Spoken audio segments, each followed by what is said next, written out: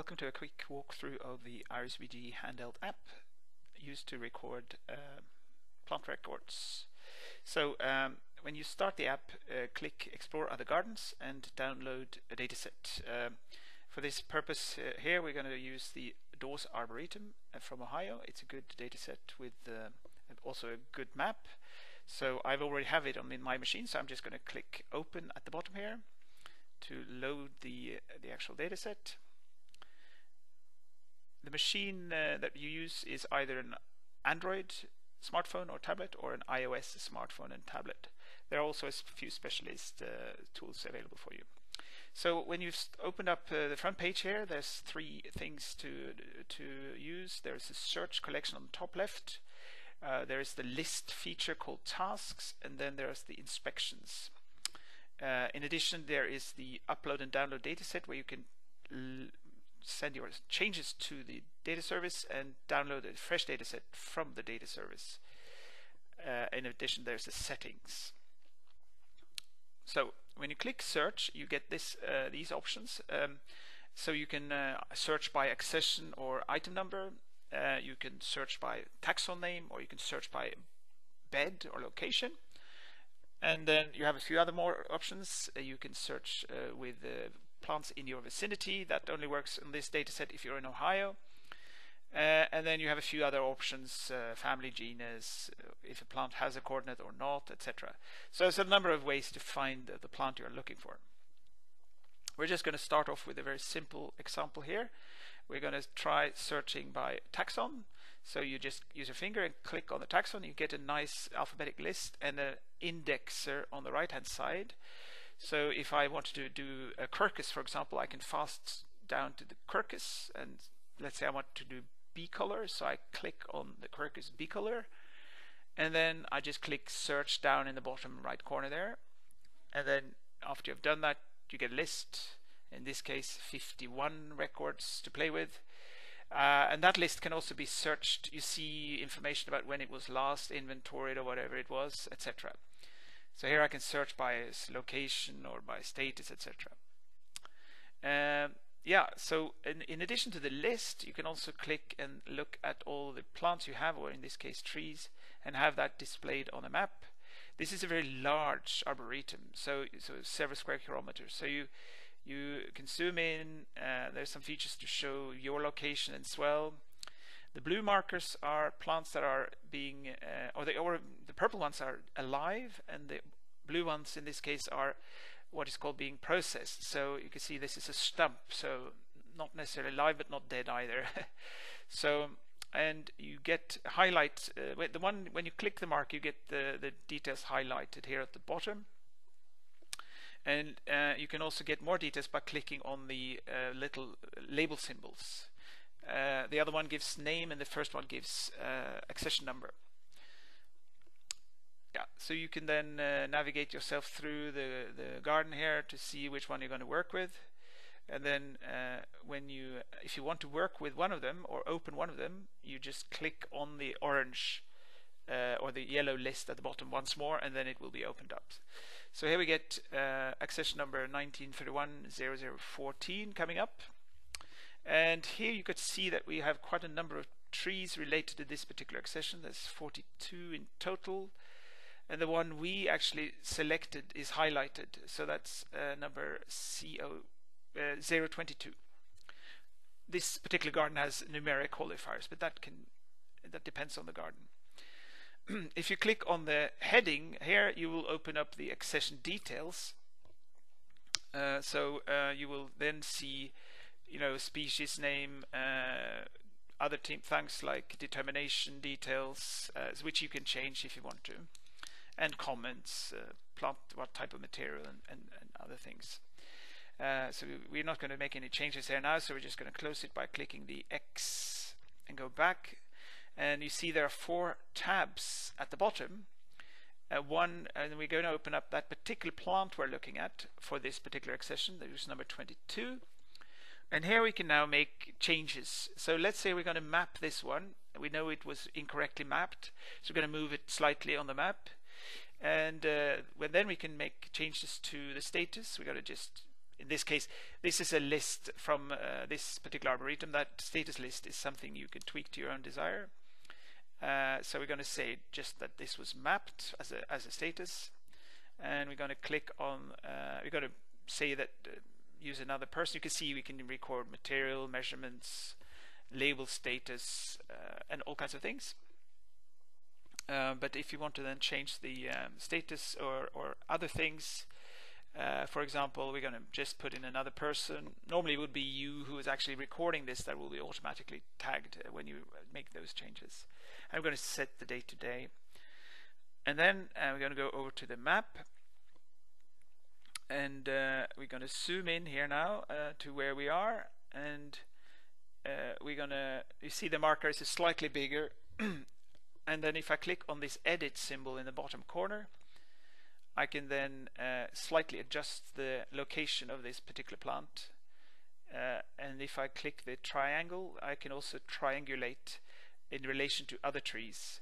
This is also used if you want to get information about the trees in the vicinity so that you there's a betula in to my left here and there's another uh, plant let's see what that is to my right that's also there's a quercus serrata so now I can sort of uh, if I have a sort of affordable laser thing, I have a Pinus behind me, I can then uh, triangulate between those three and get a really good uh, measurement. Uh, the final thing you might do out in the field is to take pictures. So uh, the uh, accession here will bring up, you see there are four images on this particular accession. Uh, and if I go in there now and I can then consider doing uh, taking a new one. So I'm just going to take a picture from my desk here uh, by clicking the camera symbol.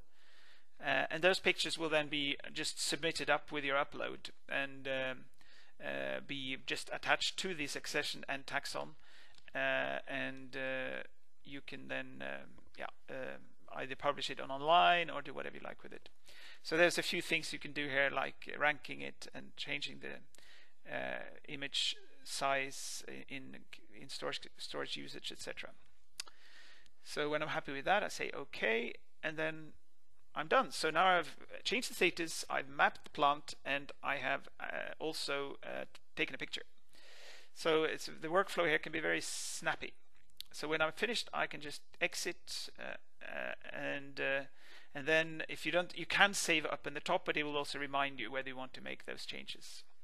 So I, I click back here and then the system will um, save the changes, which then when we go back, you will see that you will be reminded that you have a few pending changes that you need to submit to the to the um, to the app service uh, at the day, end of your day at, at work. Uh, if there's a fresh data set to download, that will also show up as a marker. The other thing we're going to look quickly at is tasks, which is a list making feature. It's really great uh, to be used for planning work uh, in the garden, but also used in the garden uh, for um, for add add things. But first, we're going to create a new accession.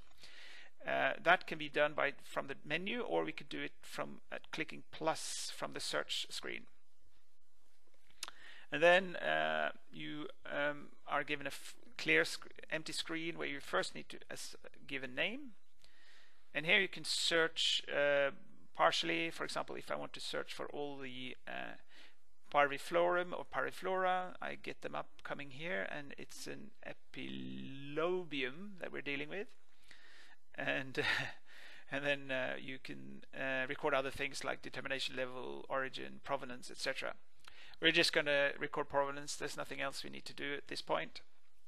And then you select OK, and then the other thing you need to do is to add uh, plants to it or other types of plant material. So you can record uh, in this particular collection you have uh, herbarium vouchers and other things but that's a list again you also can manage.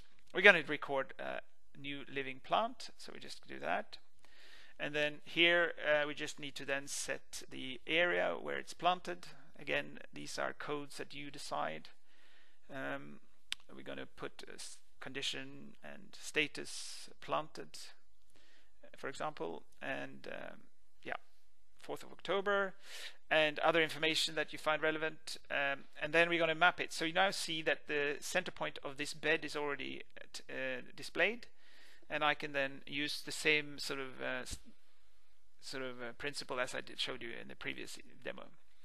So I can triangulate again if I want to or use other visual features you can also change the maps if you have several types of maps this is just a sort of a map that we call the vert, um, uh, yeah, vector-based map, but you can you can have uh, satellite maps, etc., uh, that to choose from.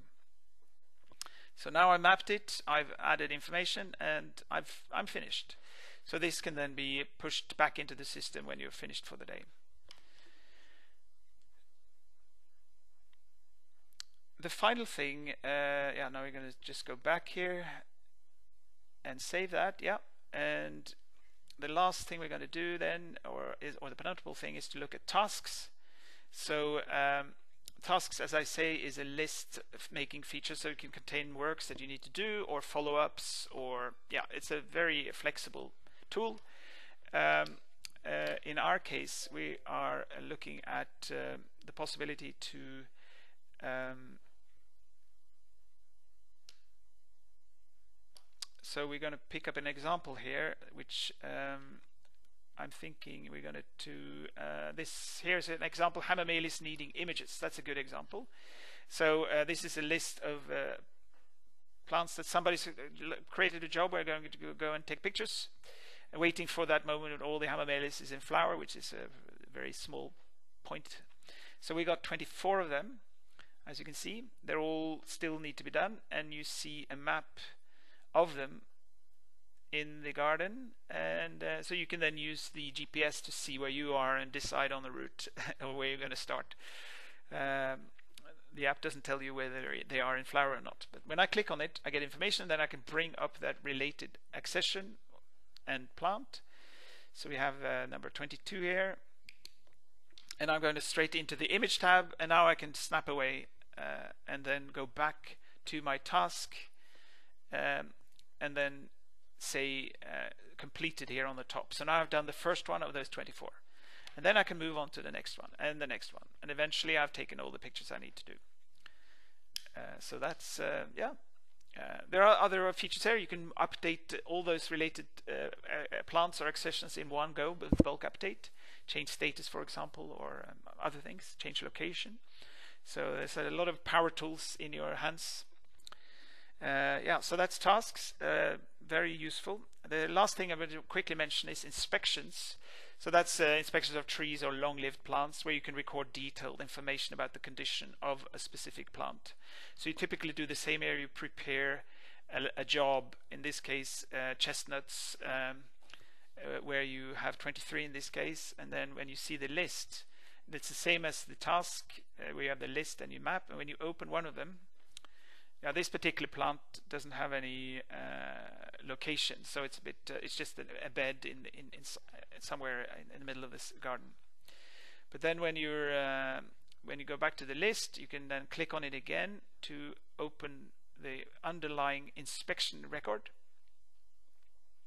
And there how you can then record condition and value, work needed, damage, measurements, etc. So uh, basically there's some risk uh, details and things like that. Uh, and then when you're finished, you just go back and then you do the same. You say, oh, you close th that particular job. So uh, that uh, when you're done for the day, you upload your changes to the service, and then one of the staff member will look at all the changes and submit that into the system, and then all those changes will then be pushed back onto the dataset again. So that is um, all we have to say about the IrisBG handheld app. Have fun, play with it, and um, yeah, hope you enjoy it. Thank you very much.